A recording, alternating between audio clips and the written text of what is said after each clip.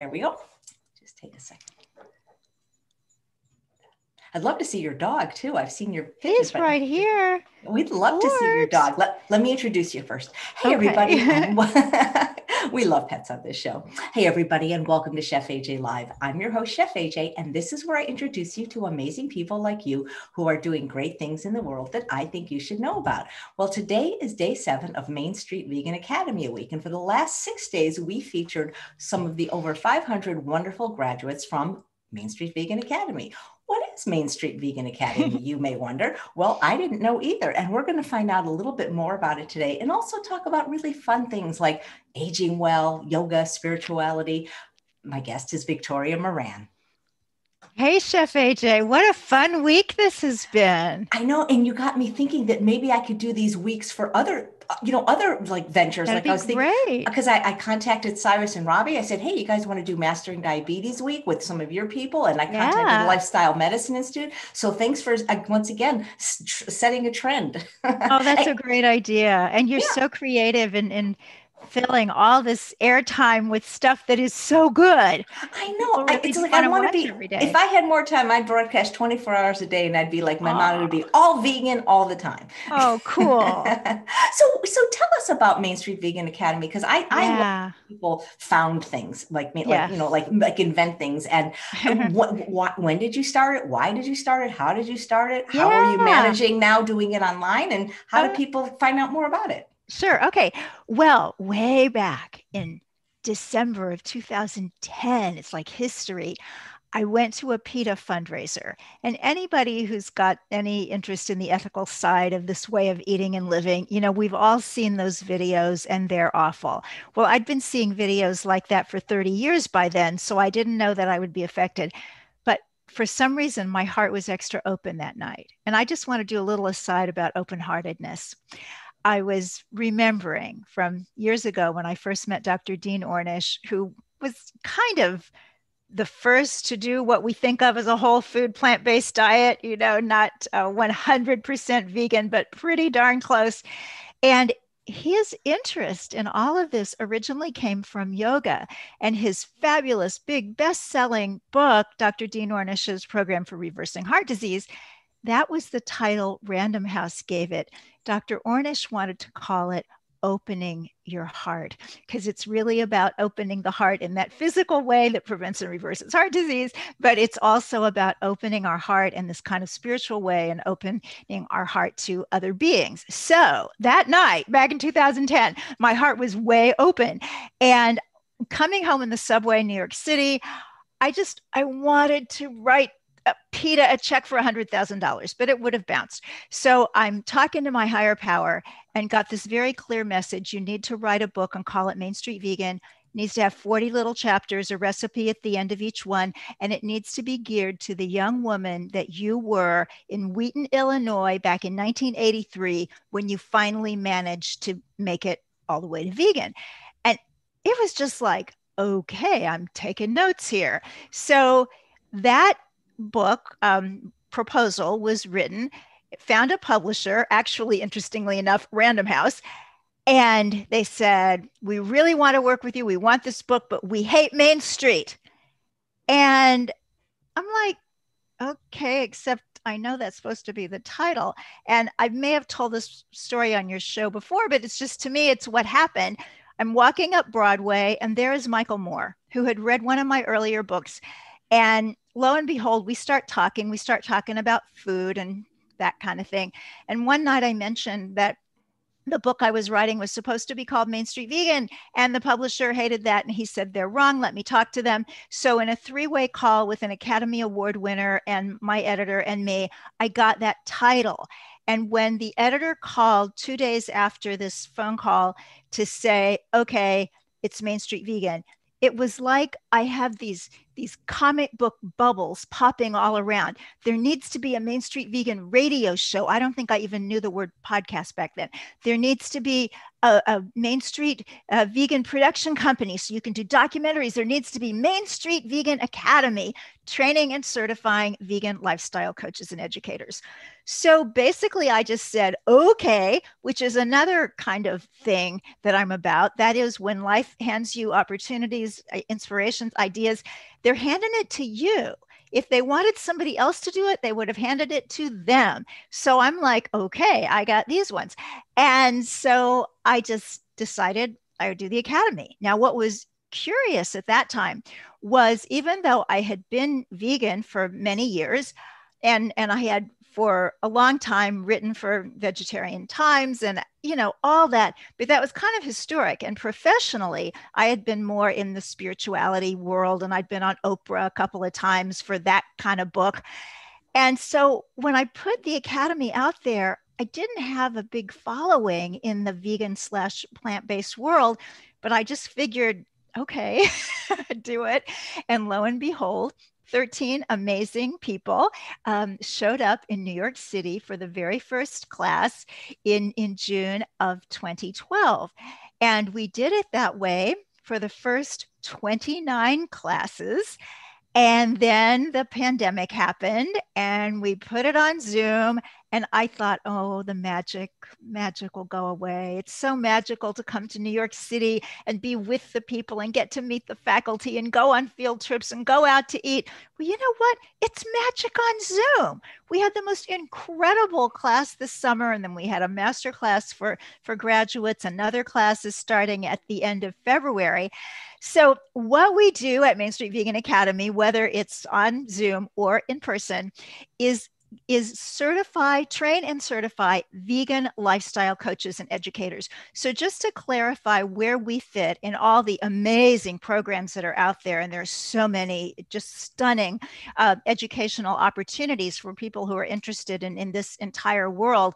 And as far as I'm concerned, as much time and resources as you have, you know, take everything. That's certainly my philosophy. I am just going to school all the time but at main street vegan academy what we want to to help people to become is total experts on the whole vegan landscape. So our dietary our nutritional courses are all whole food plant-based and we add on to that uh, the animal rights issues the environmental issues and the history of, of the vegan and vegetarian movement. That's all in our vegan principles area. And then we have communication principles so that you can actually get out and do this professionally or otherwise in terms of coaching principles, how to do it, public speaking, working with mixed and transitional families, working with people with uh, weight issues um, and emotional eating, food addiction, all that. Then we have business principles because the majority of people who come here want to do this as a business. For a few people, it really is a complete full time, this is how we make our living.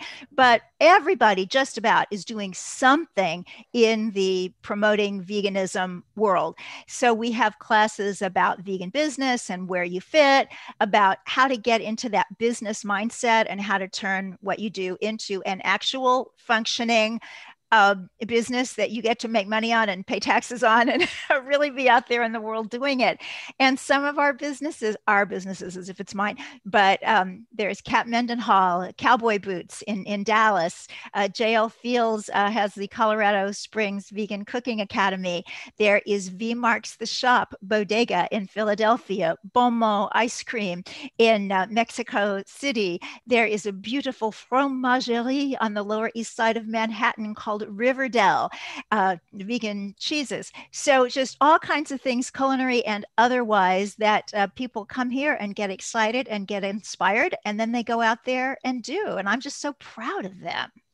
That's just such a cool legacy. Not that you're going anywhere, but you know what I mean. well, you know, when you get to be my age, it's good to see your legacy building. It's very gratifying. And your age is almost 71. I know you don't mind people right. because when I- you, no. every time you turn a year older, so we're, we're like a day apart. You're, we both, my 60th and your 70th, we were supposed to celebrate at grand events with lots of people, and the pandemic had other plans. Yes. And that's kind of how this show got created was like just asking friends to come on. I had no idea people wouldn't be interested and certainly watch every day. So see, in a way, you're all, you always have your hand in creating something magical for people. Well, you too. And I was thinking about that this morning when I knew we were going to be talking together today. That we are both Aries. And I know not everybody puts much stock in astrology, but it is interesting that in some ways our personalities are very different. But in other ways, we've got this core Aries sisterhood that that we're really comfortable going out there into the world and taking risks and taking chances and hoping people like it and just you know being okay if they don't. Yeah. Well that's the thing i mean and i'm the same way you know i i always remember that saying you you miss 100% of the shots you don't take and Mhm. so i'd rather just take a chance and fail than not try because that's you know that's just Yeah. our just just our way. But you were- you know right before we started because we met your pigeon all week and he's about he's welcome to come back thunder but can you never hear seen him? He's cooing. Not yet okay but good but i've never seen your i know you have a dog too but i've never Yeah, seen your dog Forbes, you know what? I think maybe the best thing is just to turn. Let's see if I can do this. oh Can you see Forbes?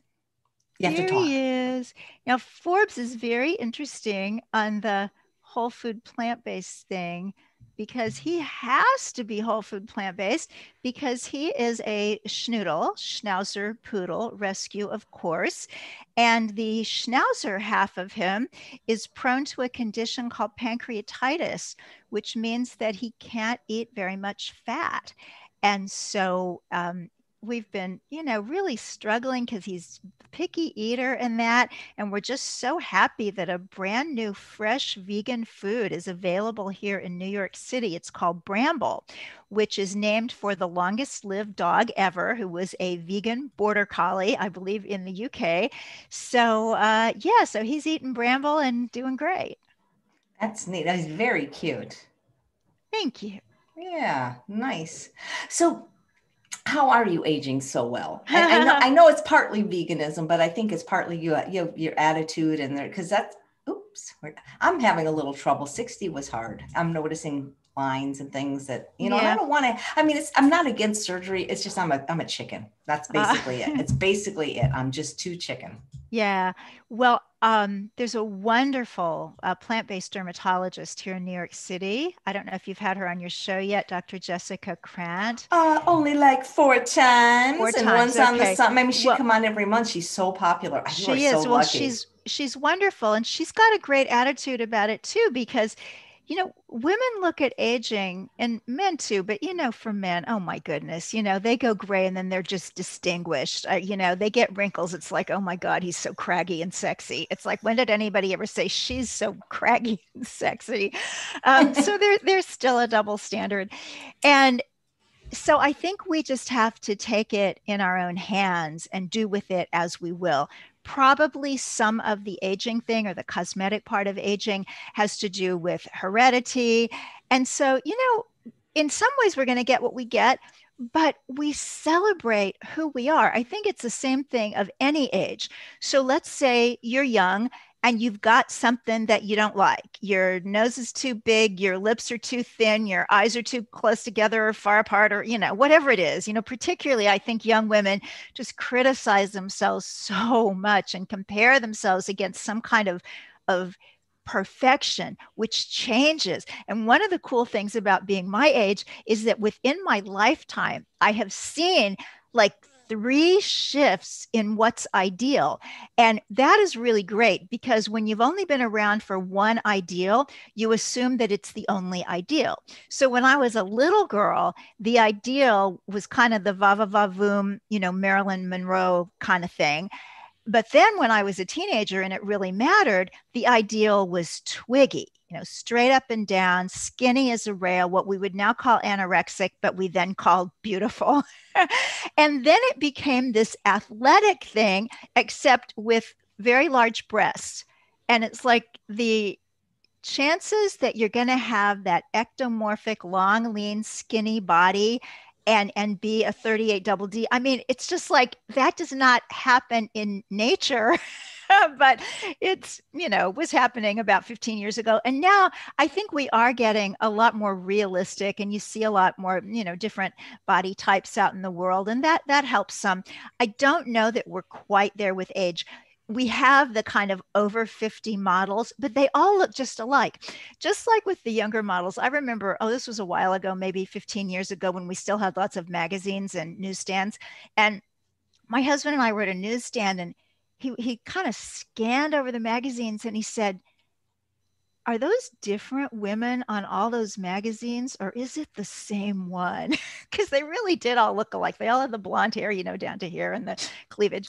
And with the over 50 kind of look you know she's she's tall and slender like she was one of those other models back then. And she has this incredible thick gray hair probably with extensions but whatever i don't know that i'm ever going to go gray i just never seem to like feel motivated to do that i haven't been motivated yet but but I'm jealous of those women who's, you know, they could do this white, fabulous mane.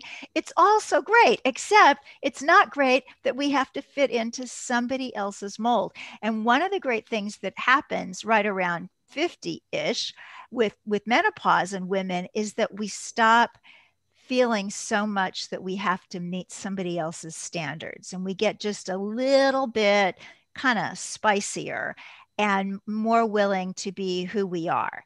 Now, 60s, I want to tell you, AJ, young sister AJ, the 60s are phenomenal. That it is a great decade. You're in one of the best decades of life because you're really grown up, you're mature, you know what's up, but you are still young, vibrant, beautiful, and healthy. And I have to say, for me, 70 was kind of weird. It happened during the pandemic, which of course made everything just odd. I didn't know what to do with myself because I couldn't go anywhere. So I went out to walk my dog, and the garage attendant in the basement was playing Zumba, Zumba music. And so I just did Zumba dancing for a while in the garage, probably breathing horrible fumes through my mask. But you know, you do what you have to do. But I have to say, it was very weird, especially because they started saying, now, uh, COVID doesn't seem to be all that dangerous, generally speaking, for young people, but you know, if you're over 70, it's deadly. Or I heard one person early on in the pandemic say, this virus is the grim reaper for the elderly. And it's like, good grief, I just got to be elderly and the grim reaper is after me already. I mean, it happened like yesterday. So so it's been a little bit tricky.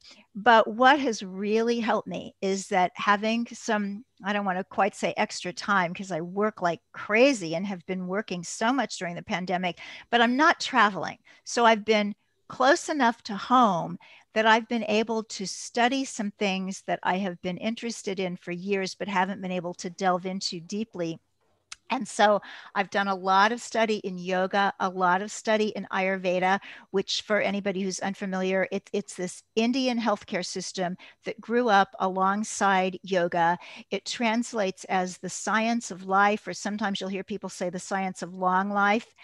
And and with the the two of these this spiritual teaching and this physical teaching that has a real spiritual basis i've gotten so much more peaceful with the whole thing of 70s and the reality is you know i remember turning 60 and it wasn't that long ago which means that when i turn 80 is not going to be that long from now and 80 is woo it's a whole big thing and yet it's like right now is this day.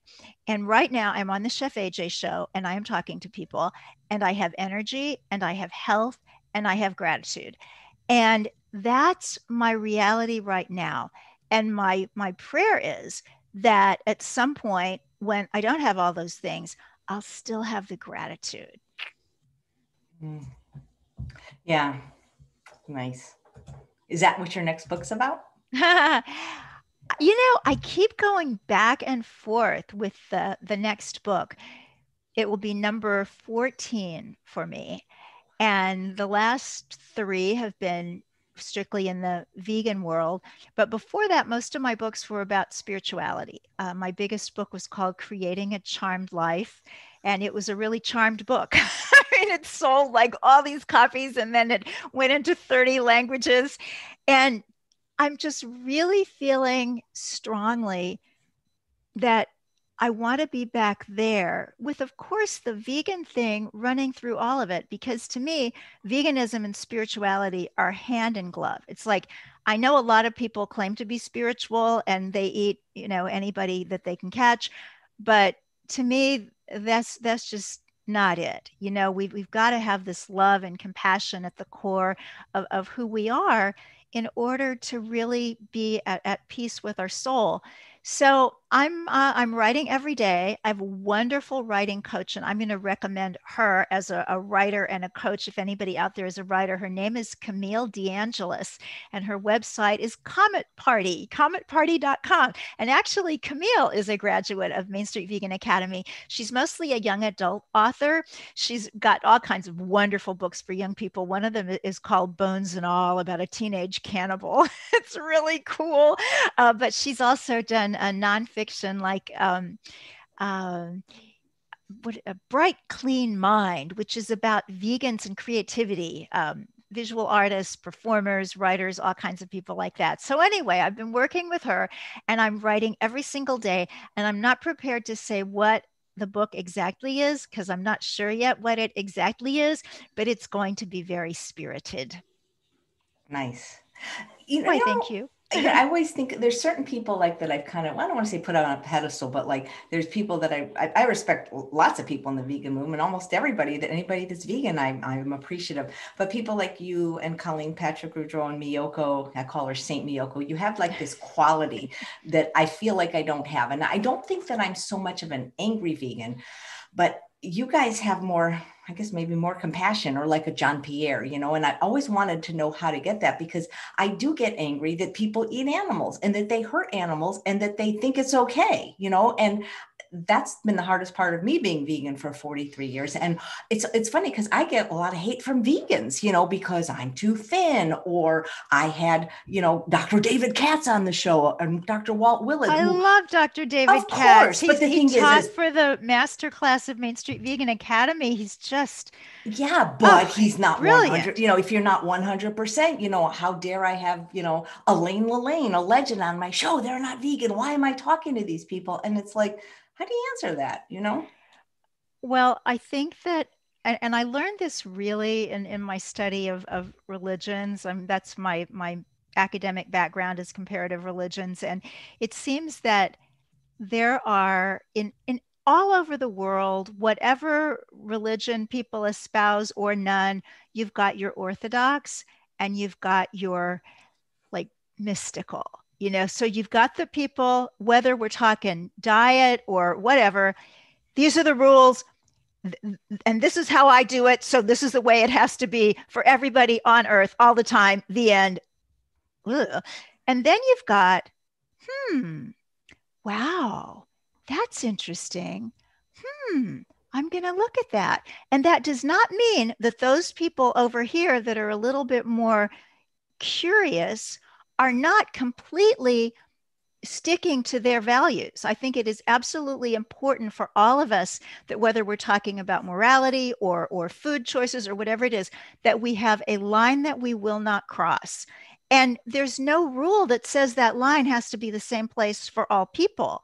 But I do think we have to allow for people being somewhere that we're not. I mean, 44 years ago, you weren't vegan. 38 years ago, I wasn't vegan.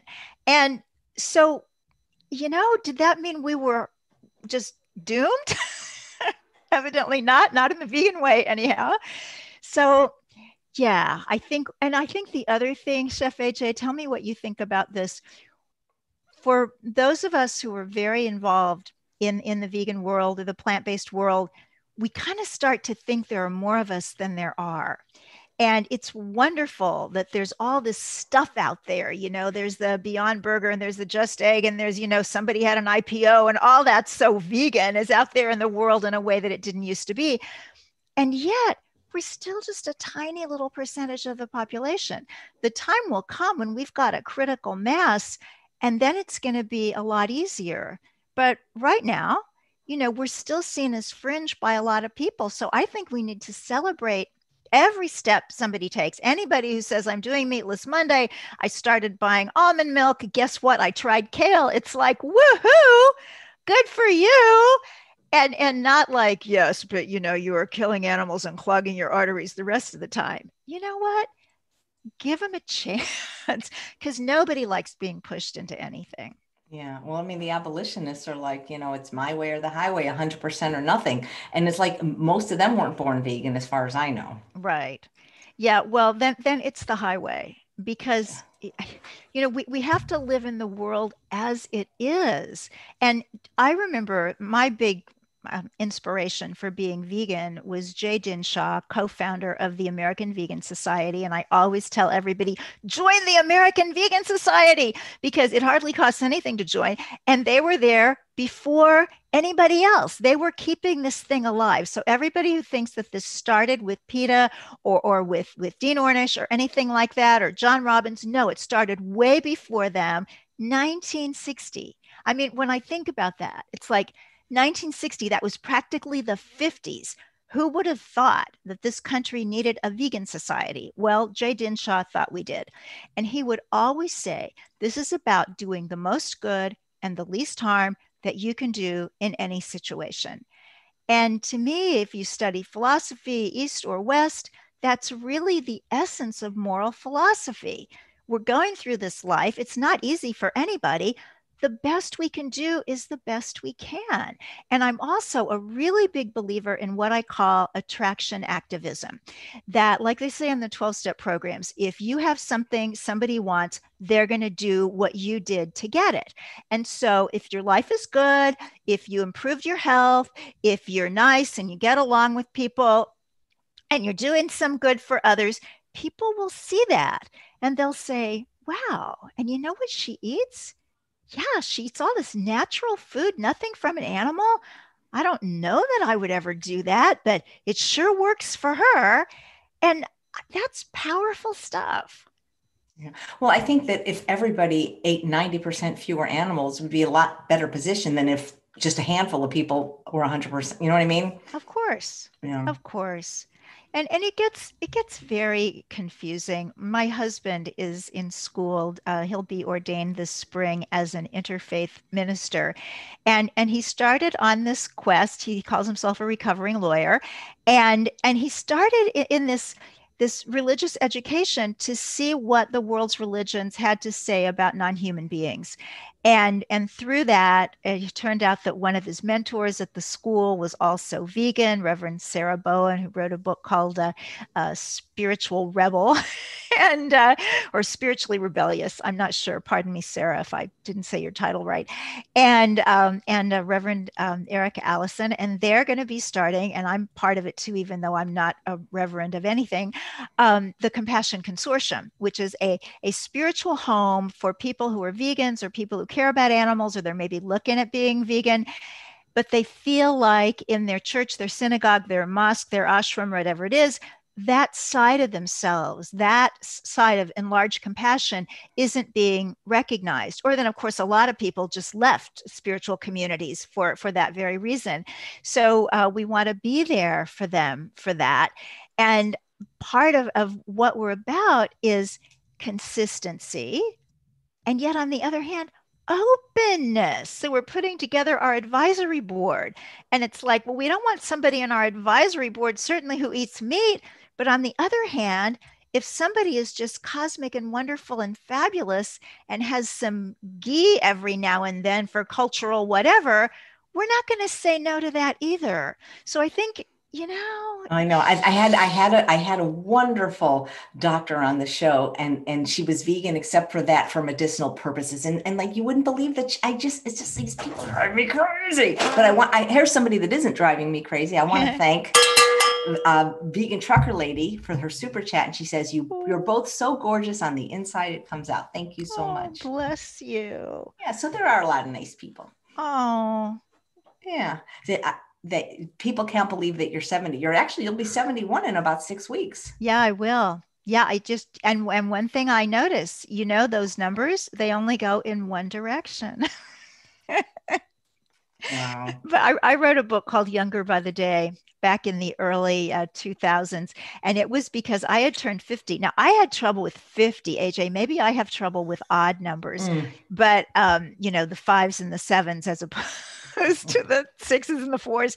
But um, yeah, I was 53, and it's like, I, I, I, I, I'm no, no, no let's just stop right here. You know, let's just not get any older. So I wrote this book called Younger by the Day. It's a really good book, it's a day book.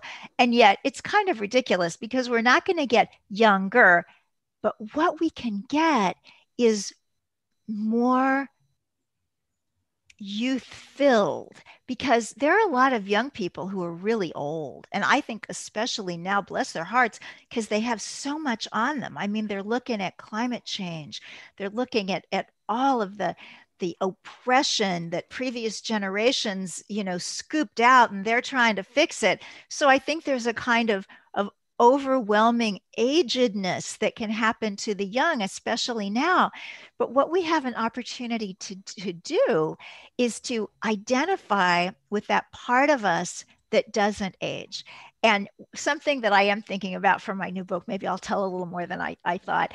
Um, I want to be, as I get older, like some of the wonderful role models that I have had all my life for growing older. So when I was young, I was around a lot of older women. At one point, I lived and worked at the Theosophical Society in America, which is a spiritual organization.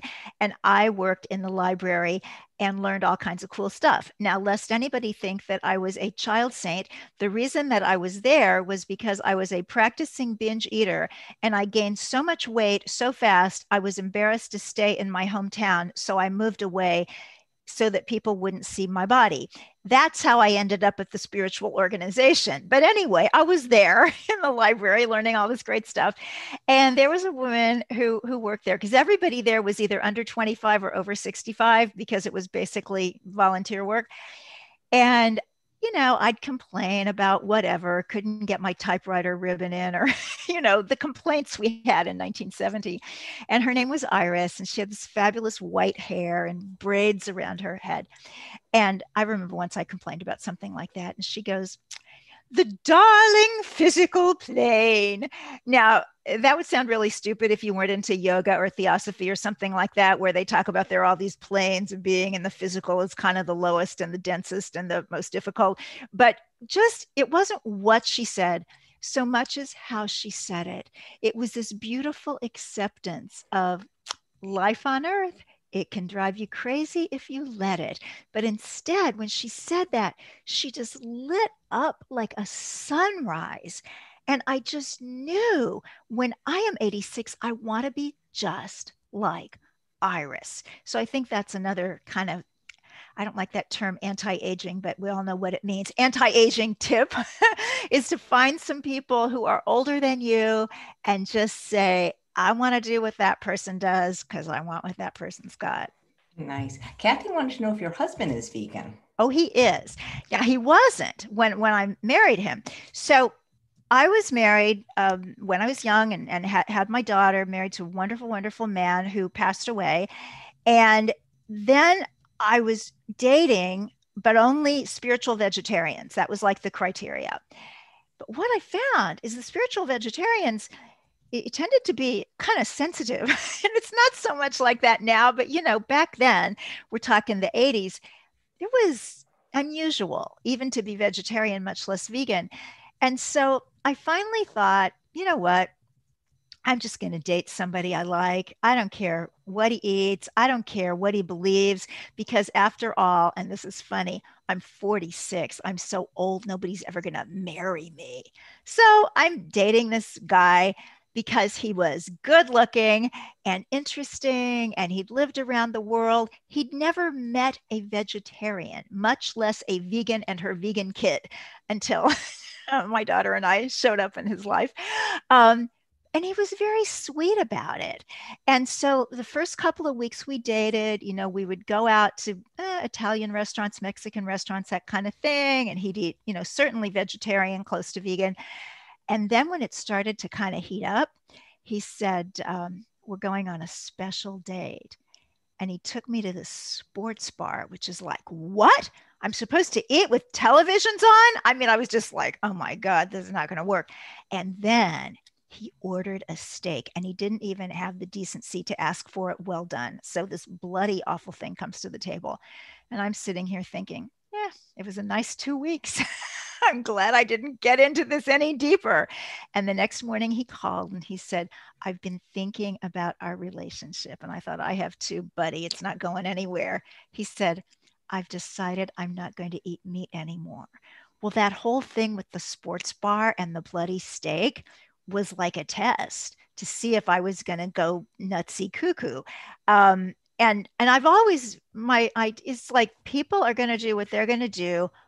I'm going to be an example. Well, obviously I was. So that was when he stopped eating meat. Still, the vegan thing was like out, you know, left field somewhere. Like you don't kill cows to get milk. Well, of course we know you do, but anyway.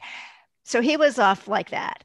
But then we went to a farm sanctuary benefit and they showed a little tiny video. The power of video is just so strong. And it, it said, um, you know, what really happens. And he leaned across the table and he said, Do you think we could start getting more of that milk like you drink? And I'm like, Yeah, sure. And inside, I'm like. And then, uh, and that was like 2004. And he was virtually vegan, but he wasn't like carrying signs. And then 2011, Main Street Vegan was in manuscript form. And he read the manuscript on a train when he went to visit his mom. And he called me from the train and said, Okay, now I get it. Now I'm vegan. And it was so cool to see him divest himself of all his leather. And he's really private. He's, he's he doesn't want he doesn't like social media. And, and he, he calls himself the amazing Googleless man because he d- likes that you can hardly find him anywhere. But he said, okay, for this occasion, I have gotten rid of, you know, all the belts, all the shoes, and my two wallets. I have now two vegan wallets, and this makes me completely vegan. You can put that on Facebook. I don't think he's ever told me I could put anything on Facebook since. So, yes, he is very vegan and um, actually wrote um, a screenplay that I still hope will one day see the light of day. It's called Miss Liberty. It's a fictional story about a cow who escapes from a slaughterhouse. And of course, you know, now he's doing the ministerial thing with um, also animal chaplaincy and animal Reiki. And he's just, he's just sweet as can be. And this is his birthday. Happy Aww. birthday. I'm, I'm sure he probably won't be on the show though, right? He's too private. Oh, he won't be on a show. Oh my goodness. I mean, he will not be on my podcast, which isn't even video. You know, he doesn't even want his voice out there. And you know, it's just like, okay, there's more room for Chef AJ and me and others who so like funny. being out there. Yeah, it reminds me of Charles a little bit. Uh, Robin says you you look uh, so young. What skincare products do you use? Something you get from Dr. Krant, maybe? Uh, no, actually, I there have been times in my life when I've been a devotee of a product, but now I just use whatever I get in the Kinder Beauty box. So Kinder Beauty is this wonderful, um, cruelty-free and um, a non-toxic uh, skincare box and some makeup too that comes every month. It was founded by a couple of wonderful vegans, uh, actresses, Daniella Monet and um, Ivana Lynch and it's so much fun because this box comes every month and you open it up and it's like, whoa, this stuff is so cool. And, you know, some of those boxes just give you little samples and you, there's not even enough there to know if you like it. But this box gives you full size stuff.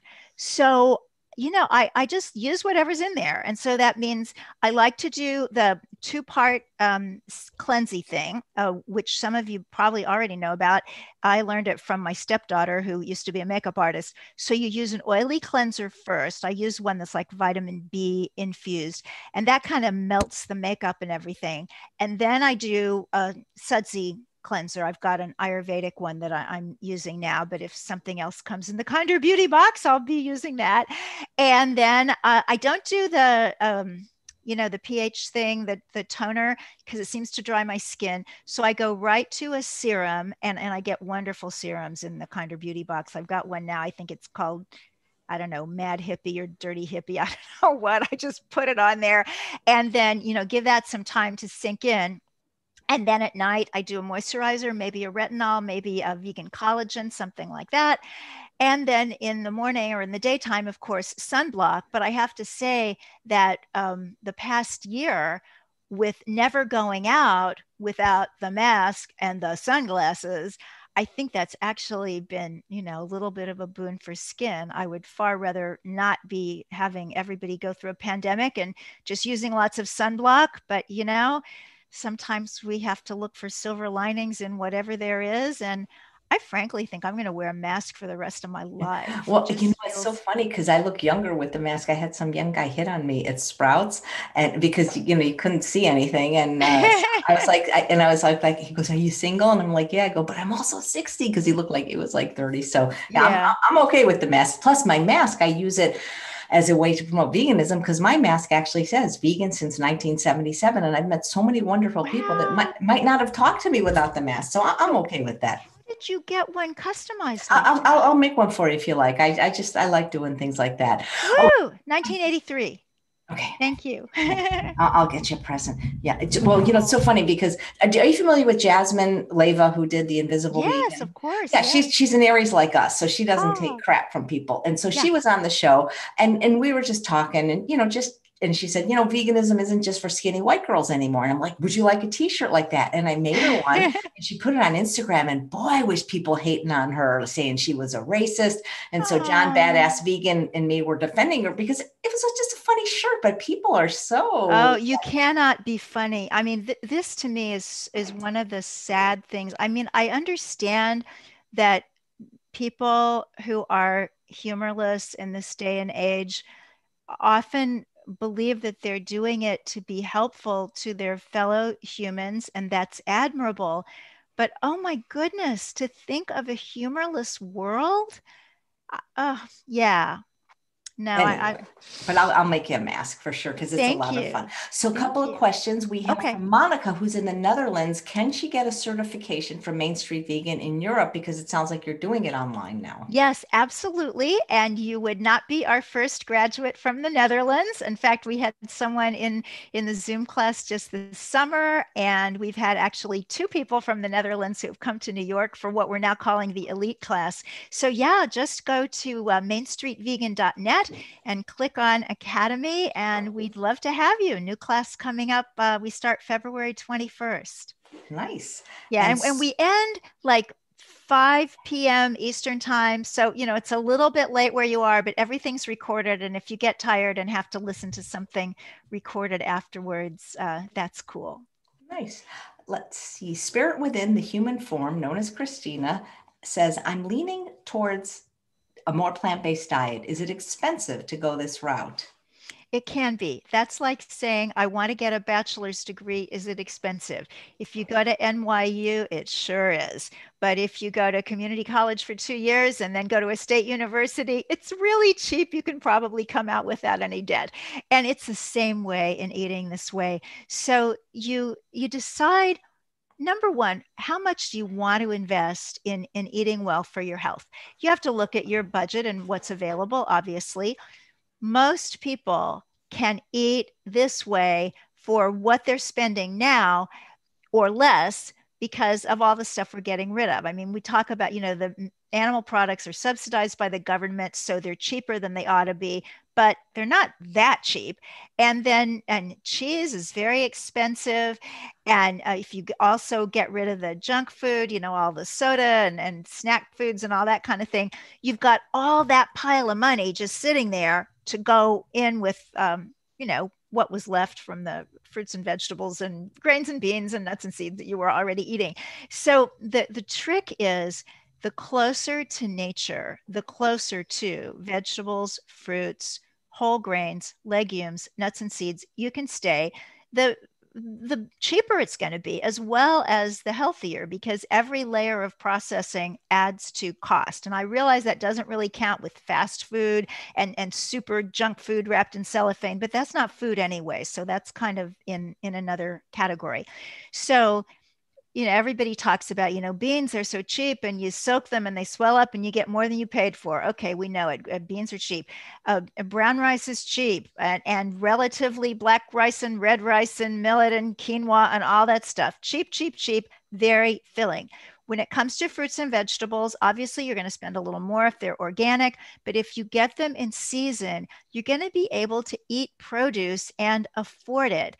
And I think the other thing is if you do find that you can tweak your budget so that you're spending a little bit more on food, that's an investment in your health going forward. And I'm certainly not the first person to say, but it's a really true statement. I would far rather spend the money at the farmer's market than at the hospital.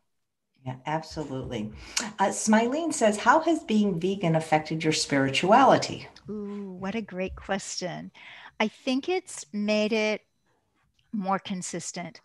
And, you know, I think we all have holes you know in our spirituality and, and in in our what we can see and and that's because you know we're not perfect and so i just feel really grateful that the whole of being eating animals is one that I recognized fairly early on and was able to plug up by being vegetarian and eventually vegan. And so I do feel that there's a certain peace kind of within myself and with my higher power simply because I'm doing my very best uh, to do right by everybody else that's here. And that means the animals that I'm not eating and the ones I'm trying to help and take care of and the people. And we all know people are sometimes a lot harder to get along with than animals. but, you know, we do our best by everybody. Um, and, you know, our best is all we can do. And if we don't do very well on something one day, we make amends, get up and start over. Yeah. Thanks for the question. Nice. Roxy asks Does Victoria take any supplements? Yeah, I do. Uh, and in fact, I, I, I've never done the affiliate thing because I like to be able to recommend things without knowing that I'm going to get some money later if somebody buy. But I finally did it for a product called Complement because it's made by vegans for vegans. And so um, the PhD dietitian Pamela Fergusson is part of this, uh, Matt Frazier, the no meat athlete, Dr. Joel Kahn. And so the supplement is so cool. Complement Plus, it's called. They originally did one called Complement, uh, which you can still get as, as a spray. And it has vitamin B12, vitamin D3, the fully formed omega 3 fatty acids, EPA, DHA, and vitamin K2. And that's what we know is practically impossible to get in in a plant-based diet. And of course vitamin d and that's impossible to get in any diet because we're supposed to get it from the sun but most of us don't. And then if you get the complement plus they've also added to that iodine selenium magnesium and zinc.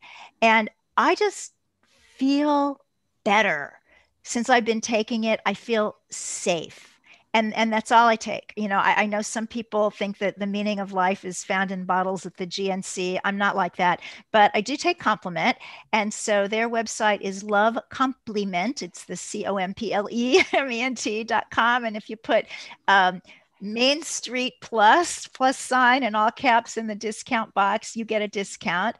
And if you don't want to, then don't do that. But you know, check them out anyway. I, mm. I, I really stand by them. Nice. And Maria says, what is the name of the vegan beauty box you were talking about? Kinder Beauty. And it's, it's just so great. And you probably know Jasmine Singer uh, from Our Hen House and, and Veg News, and she's in charge of their website now. I just love it when good people find one another. So it's it's a great company to support. Plus, it's like you know your birthday without getting any older every single month. Well, Jasmine's going to be on very soon talking about her new book, so maybe she can talk about that. I think we have time for one more question. I just saw it from Stacy, your lovely graduate who opened the show on Monday. Aww. She says the lockdown kind of forced MSVA to make a major change going online. Do you have any plans for the next big thing that MSVA is going to tackle? Haha. Well, we're hoping to be in addition, we hope to be online forever because it's so great. And that way we really can be open to people all around the world and people who aren't able to take a week off and come to New York and find a hotel and all that stuff. But we do hope to have uh, in October, and if we can't do it in October, we'll just put it off and do it next spring, um, the MSV Elite program here in New York City. And the other thing that we're doing is more outreach to and for grads. So, one thing we've always been really proud of is what we do afterwards to keep in touch with our graduates and help them. You know, there are people working for animal rights and plant based organizations that you know kind of got there because they came here and um, we want to start doing monthly events with the graduates so that we can just keep that continuing education going and keep everybody up to date because this this world you know the basics the basic ethical position the basics of plant based nutrition. Those things are what they are. But all the stuff that's going on around the world as we grow keeps changing. And to keep up with all of that is very exciting indeed. That is great. Well, thank you so much. It's always great catching up with you.